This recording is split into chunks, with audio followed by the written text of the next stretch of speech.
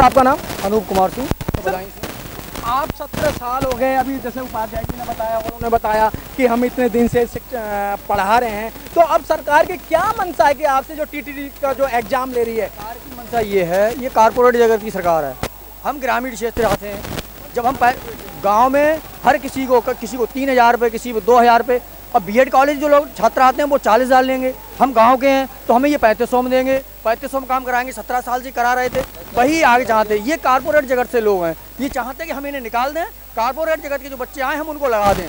जो बीएड के बच्चे करके आ रहे हैं बी एड कॉलेजों के इन नेताओं के ही वो कॉलेज हैं। वो लोग हमारे गाँव में आएँगे वो हम, हमारे बच्चों को पढ़ाएँगे। ये इनका उद्देश्य है। जैसे हमारी आंगनबाड़ी है गाँव में, उन्हें तीन हज़ार लगा रखा है, किसी को दो हज़ार लगा मतलब हम गाँव के लोग हैं, क्या भिखारी हैं क्या? हम अयोग्य हैं क्या? हम गाँव के सारे अयोग्य हैं? ये नेता कहाँ से बन गया? ये गाँव से ही आए निकल के। ये शहर में पैदा नहीं होगा ये? दरअसल हमारे साथ एक बहुत बड़ा घात हो रही है, कहीं ना कहीं राजनीति तरीके से।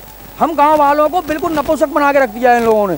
केवल वोट लेने आते हैं, जब स्कीम की बात आती है तो हमें बिल्कुल दरकिनार कर दिया जाता है। मतलब हम गाँव के हैं तो अयोग्य हैं, अगर हम शहर में रह रहे हैं तो इंग्लिश मीडियम बच्चा योग्य है। गाँव का बच्चा जो प्राइमरी पढ़ा हुआ वो अयोग्य हो गया।